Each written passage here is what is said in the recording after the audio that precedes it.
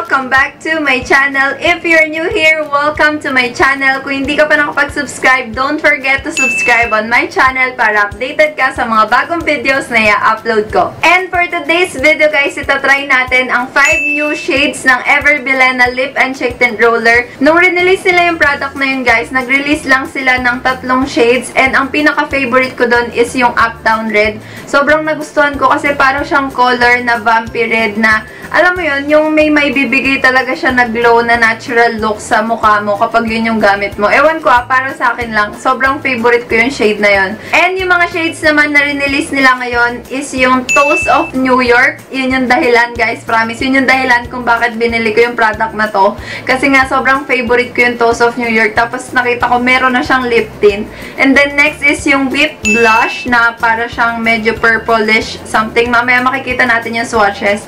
And then meron silang Red Bomb, Coral Crush, and Mandarin Muse. So, yun yung mga uh, rinelease nilang 5 new shades. Nakita ko lang siya sa story ng Everbilena. And nung nakita ko yung post na yun, guys, pumunta agad ako sa SM Department Store. Kasi malapit lang yung SM dito sa amin. So, nag-try ako. Baka ako meron na silang rinelease doon. As in, kaka-story lang nila nung day na yun. Pumunta agad ako. Tapos, tinanong ko doon sa may sales lady kung meron na ba silang mga 5 new shades nga nung lip and cheek tint roller na yun. And then, sabi nila wala pa. Tapos, nung pagka-uwi ko, nakita ko naman yung story ng Everbilena na it is exclusive pala sa Lazada. So, ayun, sa Lazada nyo lang siya pwedeng orderin as of the moment. Not sure kung kailan siya i-release ng Everbilena sa mga SM or sa mga Watsons. Hindi ko sure, guys.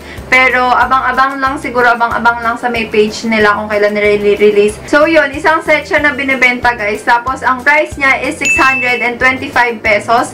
Parang okay na din naman na binili nyo yung whole set. Pero kung hindi naman nyo talaga kailangan, huwag nyo nang bilhin yung whole set. Hintayin nyo na lang siguro yung isa-isang piraso. Nagkakahalaga kasi ito talaga ng 130 pesos each kapag binili nyo siya ng single lang sa my SM Depth Store, yung mga dati nilang shades. So, kung i-compute nyo guys, yung 130 times 5, 650 yung total niya. Para nakatipid ako ng 25 pesos. Pero aside from that, kasi meron pa siyang free na makeup pouch, which, which is ang cute. Ang cute niya guys. Tapos nakalagay, ano nga ba yung pouch na yon So, ito yung kanyang mga free guys. Isang pouch na nakalagay is Hello Beautiful. Ayan, inopen ko na. And ito, yung lipstick na Supreme Lipstick. Supreme Lipstick yung pangalan niya. Tapos in the shade Hot Chick Matte. Ayan, yan yung mga freebies na nakuha ko dito sa may isang set na to which is 625 pesos. So, let's move on to the ito na talaga, yung limang shades. Ayan, nakapack pa talaga siya. Hindi ko pa siya ino-open guys kasi kanina ko lang to na-receive and sabi ko uh, kapag i-review ko na lang siya, doon ko siya i-open. So, ayan. So, swatch ko muna siya dun sa may, ano ko, sa may hand.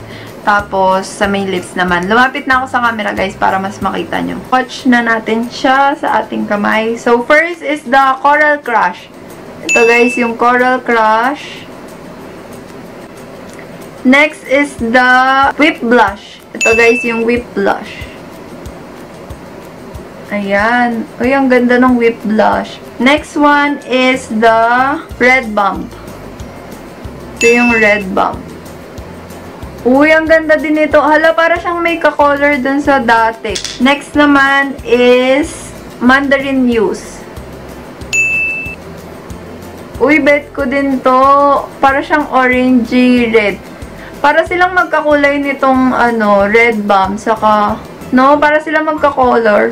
And eto na guys, ang pinakadahilan kung bakit binili ko tong Full set na to, yung Toast of New York. Oy, kakulay nga niya, guys.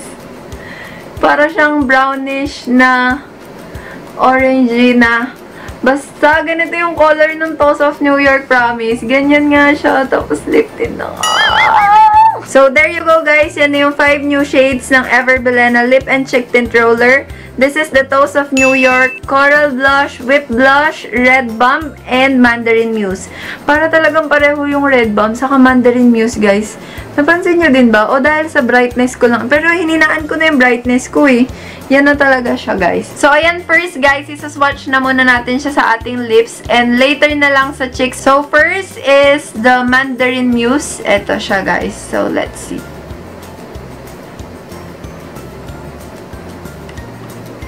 Hmm. Ang ganda.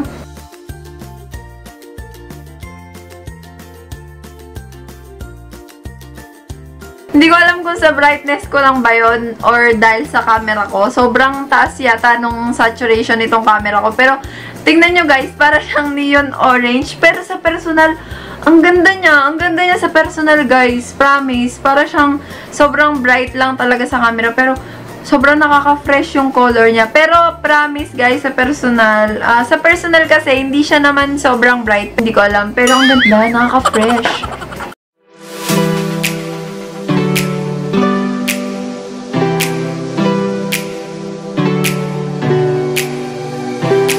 So, next naman guys is yung red band na sinabi ko kanina, ba parang pareho lang sila kasi dun sa may swatch natin sa hand.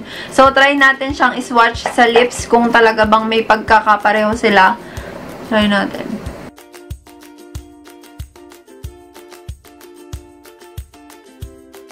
So, this is the red bomb. And ang napansin ko dito is talagang red siya. Sa personal, guys, red talaga siya. Hindi siya yung sobrang orange na kapareho ni Mandarin Muse. Si Mandarin Muse kasi meron siyang pagka-neon orange. Pero ito, guys, bright red. Bright red yung color niya. And sobrang ganda din. Nakaka-fresh din siya, guys. Bakit ganun? Parang nakaka-fresh lang lahat. Alam nyo, guys, isa sa napansin ko dito sa Everbillen na lip and cheek tint roller na to. Sobrang buildable ng formula niya. Pwede nyo siyang gawin as gradient look, yung parang ombre look lang. Pwede nyo din siyang gawin as yung parang lipstick look na yung, yung full lips talaga yung malalagyan niya.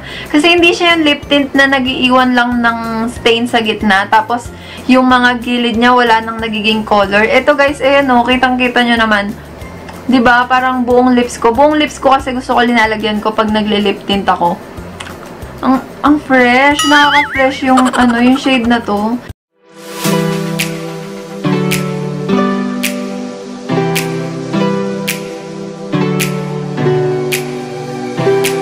So, moving on, punta na tayo sa next shade. Ito na yung pang third shade natin, guys, which is yung Whip Blush. Ito, yung sinabi ko kanina na parang medyo purplish yung color. Excited na din ako dito.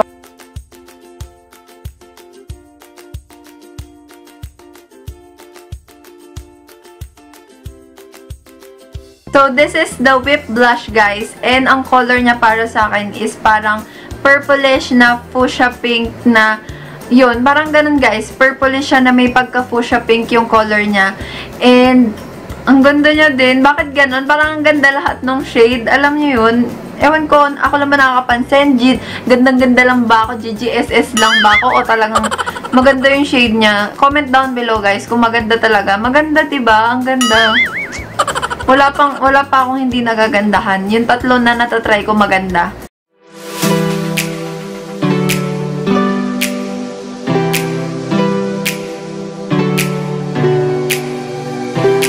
So, next shade na tayo. This is the fourth shade and this is the Coral Blush. Excited din ako dito sa color na to. So, ayan guys, this is the Coral Blush and ang masasabi ko dito, ito yung shade na masusod ko everyday. Yung as in, yung pupunta lang ako sa mall, ganon. Yung parang gusto ko lang magmukhang natural looking. Ito, etong shade na to yung magagamit ko. So, last but not the least guys, yung Toast of New York na tayo. And sobrang excited ako para dito sa shade na to. Sana hindi niya ako biguin. So,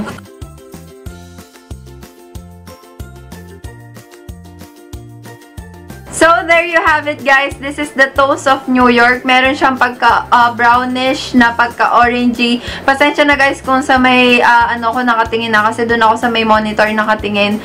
So, yung color niya guys is sobrang ganda. Para sa akin, ang ganda ng kulay niya. Hindi siya yung Toast of New York na talagang kakulay ng lipstick. Pero yung shade niya is parang nagahalong brown and orange na may parang touch of red. Ang ganda lang. Ang ganda lang. Hindi ko na ma-explain yung shade na to, pero ang ganda. Sobrang nagagandahan ko siya sa mukha ko, or GGSS na naman ako. Pero ang ganda, ang ganda ng combination ng colors niya. Kasi meron siyang pagka-dark na kulay. Hindi siya yung sobrang bright.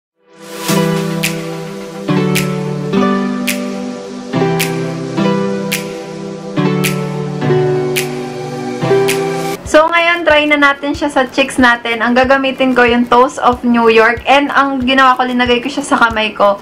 Saka ko siya i-blend sa ating cheeks. Ayan. ganda. Ay, ang ganda, te. Ang ganda.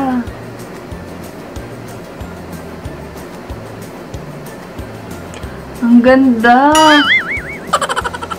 Grabe, ang ganda niya sa cheeks. Nakikita niyo ba yan? Parang sobrang natural looking lang. Ang ganda niya, oh.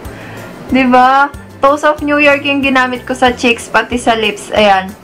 Medyo nag-ano na siya kasi medyo mabilis siyang matanggal sa laway ko.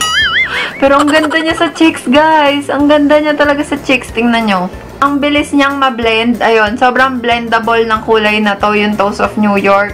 Tapos, sobrang, alam niyo yon hindi ko na alam. Basta ang ganda niya sa cheeks. So, that's it guys. Yun na lahat ng 5 new shades ng Everbilena na Lip and Cheek Tint Roller. Ang pinaka nagustuhan ko sa kanilang lima is yung Toast of New York and Coral Blush. Yung Toast of New York, guys, promise. Magagamit nyo siya as cheek tint. Magagamit nyo siya as lip tint. Yung Coral Blush naman, magagamit nyo siya for everyday use. Sobrang natural looking lang nung maibibigay ng Coral Blush. And the rest, guys, maganda din naman. Maganda lahat ng shade actually. Pero ang pinaka hindi ko lang siguro magagamit for everyday use is yung Red Balm saka yung Mandarin Muse.